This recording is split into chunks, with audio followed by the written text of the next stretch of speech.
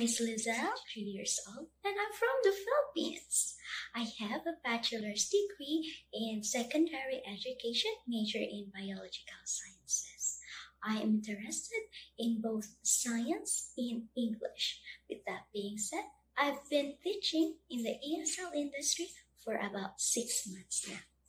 I love teaching and I like talking different topics. Also, I like playing sports. Learning foreign language is not easy at all. But if you do it with enthusiasm, it will become easier. I can assure you that in my class, you will improve your pronunciation, widen your vocabulary, and you can learn more about the English language. See you in my class.